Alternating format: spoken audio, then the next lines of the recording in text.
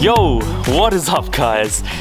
Today we are finally going to be doing something else to the Integra, uh, other than just some basic maintenance. We're going to be lowering her um, after getting a fresh set of RE003s on it, and I am so excited. It's been a very, very long time since I've had a decent set of street performance tires because when I got the new wheels, well, new to me wheels, they came with these brand new eco tires, and they're like cockroaches. They won't wear down fast enough this increased life comes at a sacrifice of performance and safety, so I finally decided to get rid of them and get some RE003s on there. These boys are thick, as you can see, and they fill out the wheel wells really, really nicely, but they also mean that the height of the car's increased and I do love this uh, really aggressive, meaty setup, but I am interested to see what the new size would look like.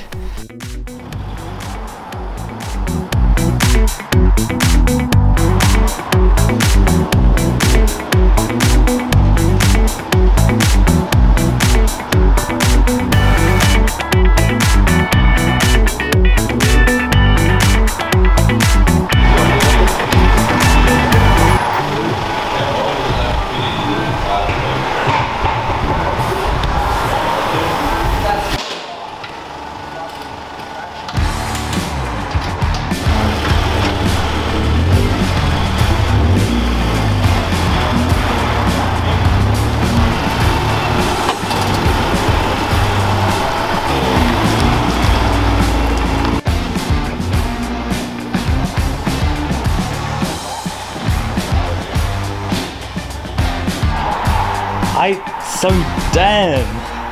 You know what? I am loving the lower uh, profile tires.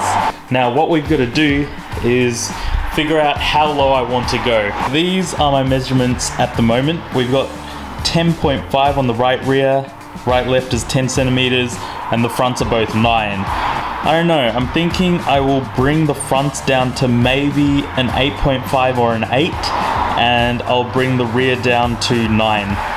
Um, just flat 9, maybe 8. Holy crap, I cannot get these off. You know, I just went to the store and got these tires on, and it looks like they've used an impact and just tightened it with a few ugger duggers. And it is not torque to spec because I cannot get it off with the breaker bar.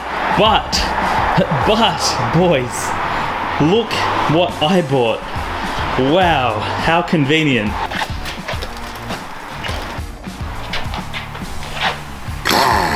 Amazing.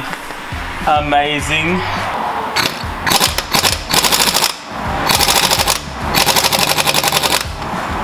Wow. I guess that might need some more force.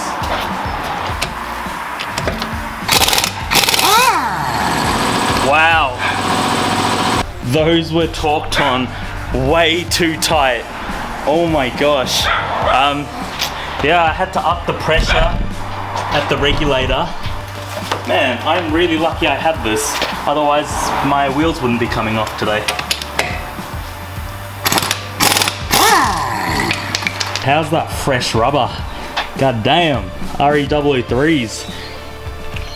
Alright, let's clean up all this muck with a bit of degreaser.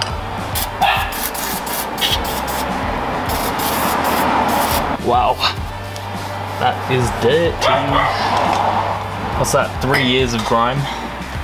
Gonna smack it with some penetrating fluid. All right, so first we gotta knock out this locking collar. There we go. Um, just kidding, I'd loosened it beforehand and I'd used the towel on the actual flathead so that I didn't damage the collar, but that means we can now move this up and down Next up, we're gonna remove the bolt connecting the shock assembly to the hub. And that's just a 14, I believe, which is this puppy over here.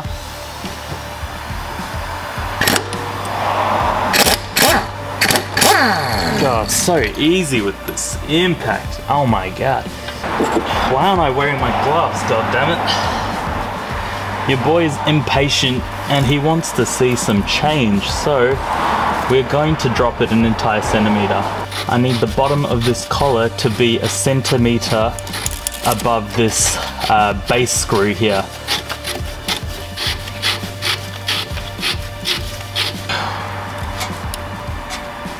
Okay, that's almost bang on a centimeter.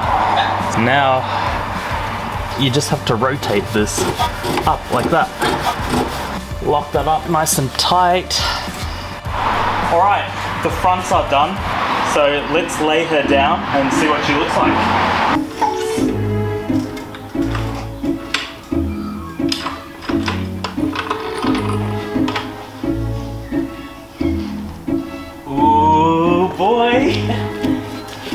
And this is what she looks like. So there's a noticeable difference, but it is not by any means slammed. And that's perfect because I wanted to wanted to lower it a bit without actually destroying the functionality. You know, I've still got a steep driveway. I still want to install a lip, and my guards aren't worked at all. Uh, and I still want to be able to go for a spirited drive without scrubbing and rubbing at every corner, which is exactly what happened with the uh, other tires I had on this. Alrighty, I actually had to lower this side uh, half a centimeter more because I was uneven and this side sat at around 8.5, that side sat at around 8. Oh my god, she is on the ground.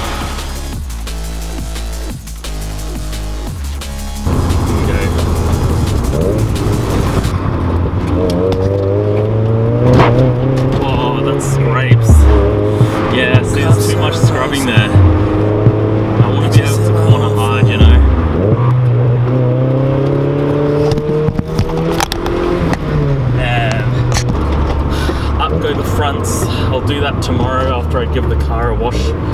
And then it's alignment. So it's the next day, and I've unfortunately come to the decision of raising my car up again because it's just not viable, you know? I got these new low profile tires to avoid all the scrubbing and scraping and keeping it this low is going to introduce the same problems. And like I don't have access to a guard roller. Even if I did I don't know if it would solve the issue or not. But like it's it it's not even really that low. We'll get the rears down, see what it looks like, but we'll bring the front up about a centimeter, oh, half a centimeter.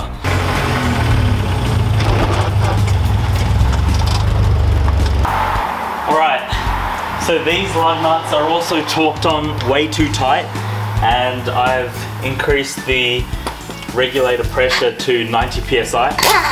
So hopefully this will get it off. There we go. Oh yeah, and you're probably seeing all the the paint fly up. I don't care. These paint these wheels have got to be repainted. Um, this paint's coming off anyway. Like the previous owner didn't even bother taking off the wheel weights before painting the wheels. Like it was clear he just wanted a quick sale and yeah. So I went two years without painting it. That's fine. But I also need some extended lug nuts because these can't fit over them without damaging the paint.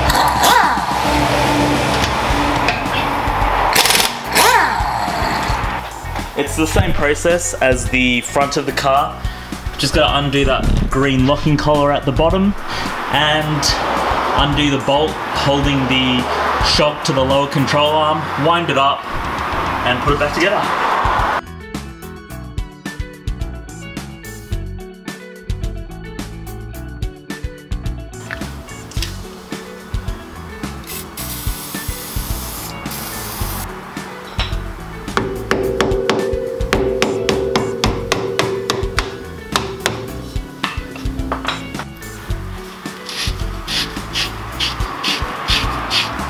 So this is a 14 and that holds the shock to the control arm. We need to basically get this up and out of the way but to do that we'll need to drop this entire control arm down.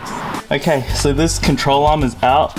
It's kind of, it's being held in by the sway bar uh, so it's not going to drop any further than that. So I kind of have to put pull down on this control arm as much as I can, um, and that then allows me to twist this coil over and allow it to meet up with the locking collar there. Uh, the base of the shock now meets that locking collar, so we have to go ahead and screw everything back together.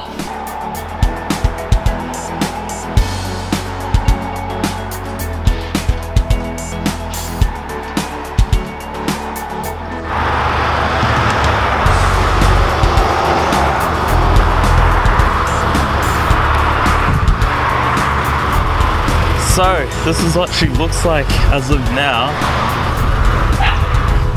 Unfortunately, the front just has to come up because it does not do too well in the corners, which is where this car is supposed to shine. And there you have it. That is a set of brand new RE003s with a lower profile alongside a slight drop using the adjustable coilovers we had on the car. Now, don't get me wrong, I loved that thick, meaty Kanjo Racer look, but uh, this is something new, it's different, and it's certainly more functional because I can finally corner without scrubbing, scraping, and losing traction, most importantly. Now, I did want to go lower, as you guys know, but it just wasn't, wasn't viable, and functionality was the aim of this particular venture, so that's what we've achieved here. I think this setup will look really good once we repaint the wheels in a slightly less subtle color, something that contrasts against the body a bit more. But for now, I think it looks fantastic. It's uh, lower, it's more streamlined, the lower profile makes the car look crisp.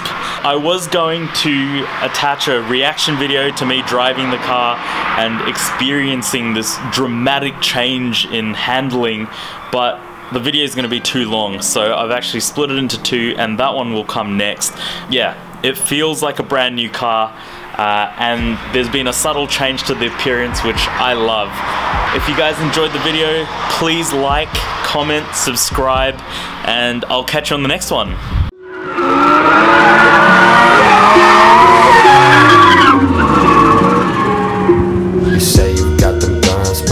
never seen you